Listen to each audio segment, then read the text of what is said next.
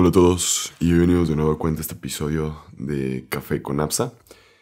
El día de hoy te traigo un episodio un poco más personal, un poco más yo, en el sentido de que te voy a platicar el por qué he decidido ser fotógrafo o prensa en los equipos de béisbol aquí en Guadalajara.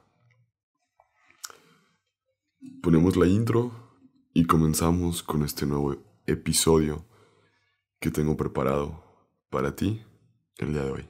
Bueno, así que te digas, preparado, preparado, preparado.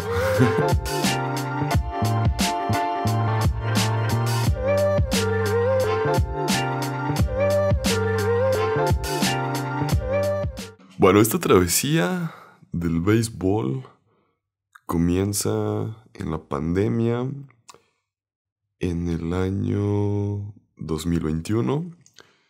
Uno de mis mejores amigos me invita a un partido de béisbol. Me dice, oye, acaba de empezar un nuevo equipo, los mariachis. Compramos boletos y dije, pues chingue su, no hay nada mejor que hacer. Estábamos todos encerrados. Ya sabrán ustedes cómo era todo este rollo. Y vamos al partido inaugural. Fue algo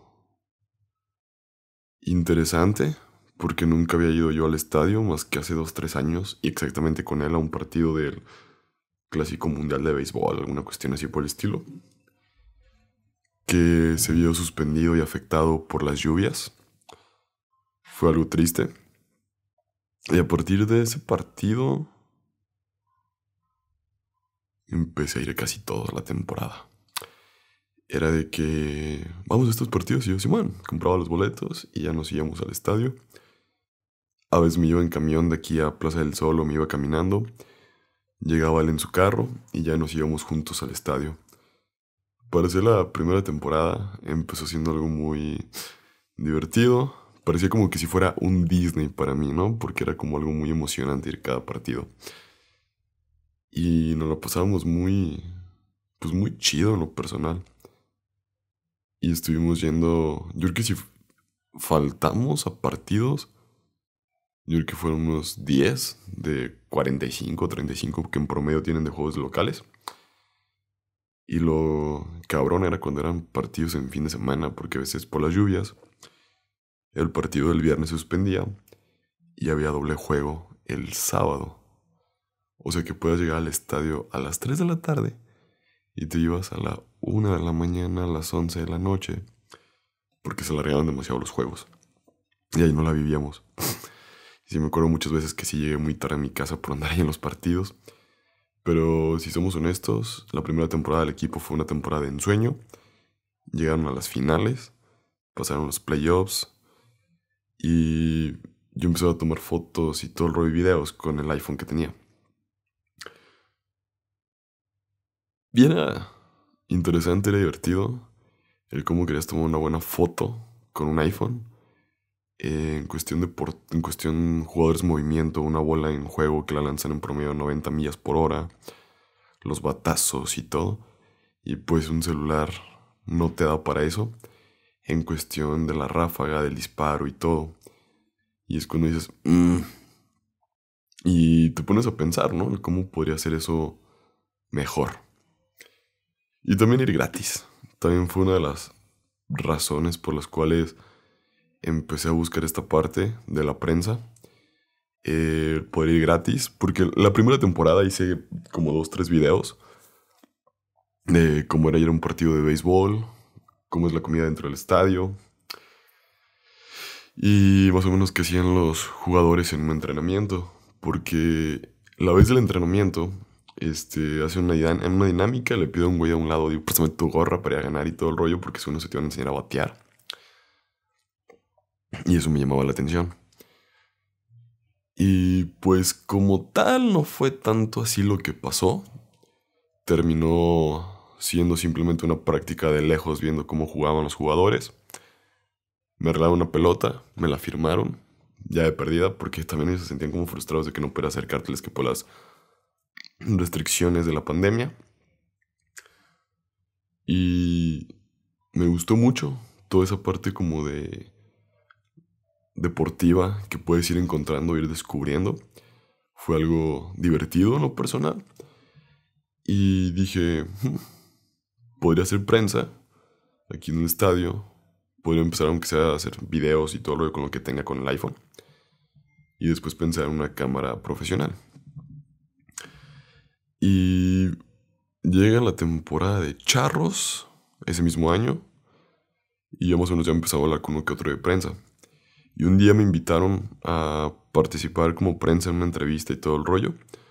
Y entrevisté a unos jugadores de charros, a otros de los cañeros de los moches, si no me equivoco.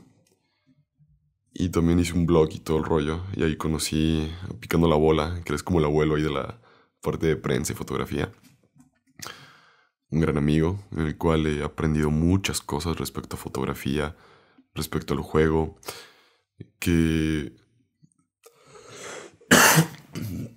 Perdone, ando un poquillo malo de la tos. Este, como la parte del juego, como aprender a tratar de meterte a la mente del jugador y pensar que si se va a robar la base o se va a quedar ahí. Y si se va a robar la base, como que esperar el momento de cuando se la empieza a robar, y empieza a correr. Tú ya tener la cámara, si quieres, en modo deportivo o en un modo rápido para que puedas tomar la foto pensando o visualizando qué va a pasar. Empecé a platicar con todo ese tipo de cosas. Y te vas adentrando y vas conociendo que no simplemente es como que disparar. Como que si tuvieras una arma como en Call of Duty de modo automático que todo el tiempo estás disparando con la cámara, terminarías con más de mil fotos de un partido. Y lo que he aprendido es cómo ir llevando esa parte, en vez de mil fotos, sacar 10 buenas. Que tengas como 10 tiros y esos 10 tiros tienen que ser los mejores tiros que puedas hacer. Y es algo complejo. Bueno, continuando con la historia. Ese año pues vamos a charros y todo el rollo. Eh, pues asistíamos a los partidos como espectadores todavía. Y pues seguíamos ahí como que diciendo, pues debemos de meter acreditación, debemos de meter acreditación, estaría chido, que sea qué, bla, bla, ¿no? Y ya nos animamos, Copado y yo, a enviar una carta, pues como con todo este pedo, ¿no? Lo que te piden del medio, bla, bla, y todo el rollo, ¿no? Y ya pues lo hicimos para los mariachis. En el año 2022 nos aceptan. Para ese entonces, mi primo Robert me regaló una cámara profesional que se encuentra y todo el rollo. Y la empiezo a utilizar y te empiezo a dar cuenta de la gran diferencia de tomar fotos con una cámara profesional a un iPhone.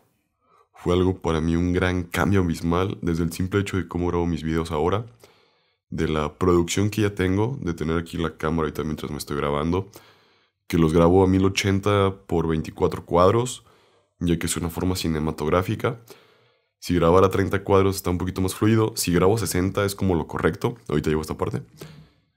Y empiezo a adentrarme y empiezo a descubrir el gran mundo que era grabar videos o fotos con una cámara correcta. Y para mí empieza a ser como que otro rollo. Y es como que, ok, traigo mi iPhone, lo traigo por todos lados, pero y ahora traigo la cámara. Y se vuelve a convertir como en esos gadgets que te puedes decir que puedes traer en tu everyday carry. Y lo hace divertido. Y fíjate que me gustó mucho, pues, como esta parte de empezarme a meter con una cámara, porque tiene tantos ajustes que va a depender cada tipo de situación de la que quieras disparar. Y una de las principales cosas por las cuales me metí a, empezar a buscar la acreditación de prensa. Era para empezar a conocer más mis herramientas de trabajo, como la cámara, porque empecé a ver que hay diferentes modalidades cuando lo traes y todo el rollo respecto a seleccionar cómo quieres que sea el, el modo de disparo, la apertura, el ISO, el foco, la luz, y aquí hay varias formas, ¿no? Que tú puedes jugar. Me di cuenta cómo cambia drásticamente una cámara a otra. De una Canon T2i a una T8i. Ha sido algo asombroso. en cuestión de la calidad, del marco, de la batería, de la SD, bla, bla, bla. O sea, como cositas que vas dándote cuenta que se vuelven, pues, como algo impresionantes. El hecho del micrófono, de traerlo conectado con la cámara, no depender del micrófono de la cámara. Los micrófonos de las cámaras son asquerosos. Entonces es lo que te diría que siempre nunca deberías de considerado depender de él. Pero las nuevas cámaras de Canon, bueno, me desvió mucho de la historia de repente. Y empiezo a disparar con la cámara, empiezo a sentirme como más profesional, si lo quieres ver de esta forma. Me creo un Instagram que se llama Estoy Out, donde empiezo a subir mi contenido de fotografía deportiva de béisbol. Y después de eso asistimos al WTA, que es un evento de tenis, era un WTA 1000, que es como si fuera uno de los pues, mayores tops de eventos de tenis. Me llevo mi cámara y también empiezo a dar cuenta que para tomar fotografías de tenistas, no nomás es tomar la foto porque sí. Hay un buen de ciencia detrás de eso para hacer una buena foto. Así que nunca subestimemos cómo es una fotografía deportiva porque hay un buen de cosas detrás. El simple hecho de meterte a la cabeza de lo que va a ser la tenista también, para mí fue algo muy revolucionario. Yo nunca había un partido de tenis. Es otro pinche pedo un partido de tenis. No te puedes parar cuando quieras, no puedes ir al baño. Tienen que jugar tres juegos para que te puedas parar. Y así te la vas llevando como que conociendo todo este tipo de reglas diferentes. Y los ambientes. La vez... Ah, ese año ya nos dan acreditaciones en charros. También vamos y asistimos. Estuvimos ahora sí como pues prensa y todo el rollo, tomando fotos, videos y asistiendo a los juegos. Lo que no me gustaba de Charros es que no te dan estacionamiento. Te tienes que quedar en la calle. Es lo... Es lo malo. No puedes tener toda la vida. la diferencia de los mariachis es que sí me gusta esa parte. Que dan pues tu lugar de estacionamiento. Y... Continuando con esta parte, este año pues también conseguimos nuevamente la acreditación para hacer la parte de, de prensa en los mariachis. Y he estado jugando mucho con la cámara en los diferentes modos que tiene, de apertura, de blur. Me doy dando cuenta que las Canon más nuevas ya tienen software con inteligencia artificial para el movimiento y seguimiento de las tomas. La cuestión del video, como mejorado. Me pongo a investigar y cuando quieres grabar un video de forma estática, o sea que esté quieto, sin que haya tantos movimientos y todo el rollo. Lo mejor sería 1080 a 24 cuadros. Si quieres un video deportivo, sería 1080 a 60 cuadros. ¿Por qué? Porque tienes más fotogramas y si quieres una toma rápida, se ve bien. Si quieres hacer una toma lenta, se ve bien. Tienes esa forma de poder jugar. Luego también encontramos que están las fotos de formato RAW o JPG si la tienes en formato RAW, tienes un formato más crudo que puedes modificarle más cosas. En JPG está un poco más comprimida y un poco más procesada la imagen. Y no te permite hacer tantas cosas. Y esto lo he ido aprendiendo, pues ahora sí, leyendo documentaciones, viendo foros, escuchando otros, videos, otros fotógrafos, youtubers, si lo quieres ver de esta forma. Y, así te la vas llevando, o sea, empecé, empecé tomando fotos y videos con un iPhone. Y la neta, qué chingón es tener este tipo de cosas para tomar las fotos porque no te preocupas de tantas cosas. Llegas con una cámara, cabrón, no sabes a veces ni prenderla. Así yo me sentía yo bien torpe, no sabía ni prenderla, ni acomodarla, ni nada. Y antes, cuando tenía la otra, la T2i, que no tiene la pantalla abatible, tenía miedo de cómo salía el, el encuadre, la foto y todo el rollo. Y ahora con la T8i, que tiene la pantalla abatible, me puedo ver puedo ver cómo está el enfoque, la luz, el micrófono y todo. Y es una como paz mental, si lo quieres ver así, de esta forma. Porque puedo estarme viendo y sé que me veo, pues por lo menos enfocado, pero no así guapo. Eso ya es otro tema. Y, y esta parte, pues sí me ha ayudado mucho, como ir tratando de ir mejorando un poco en la parte de cómo tomar fotos, de cómo poderle sacar un provecho más a la cámara para, para usarla mucho para la parte de los reels, para los videos de YouTube. Y como dejar un poquillo más mi teléfono en un segundo plano si no tengo la cámara cerca. ¿Por qué? Porque es como que tienes una herramienta para cada cosa. Y creo yo que así debería de ser.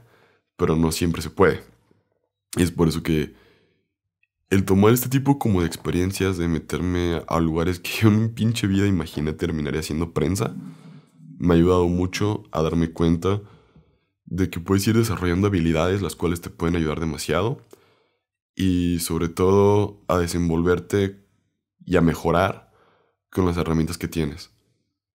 Porque si te dijera ahorita que agarraras mi cámara con la que estoy grabando el video y la pusieras en un modo manual, me tomaras una foto con un efecto blur en la parte de atrás, ¿qué tan complejo para ti sería? Y si te dijeras eso con el iPhone, lo pones en modo retrato, me acomodas al sujeto en la distancia y listo. Qué simple fue.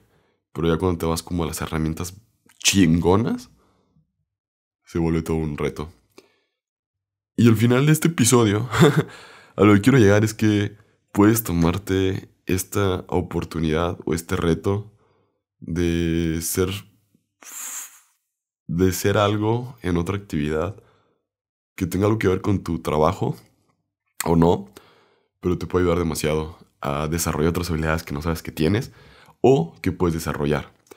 Por ese lado, te sirve, es una forma de inversión de tiempo al final, porque te ayuda a desarrollar otras cosas que no sabías, porque Puedo poner yo la cámara de diferentes formas, pero si la pongo un poquito hacia abajo, viéndome a mí, hago que la toma sea un poco mejor. La parte de la luz, la parte de eh, cuántos cuadros tengo que grabar por segundo para que el video se vea chido. Y así tú vas como que descubriendo estas cositas que dices, ah, así se hace esto, esto, esto, aquello. Como que tratas de ir llevando tu contenido a otro nivel.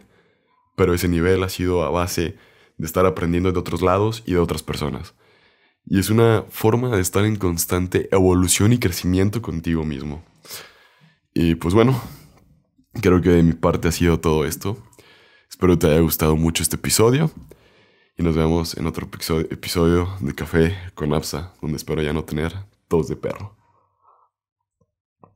Muchísimas gracias a cada uno de ustedes.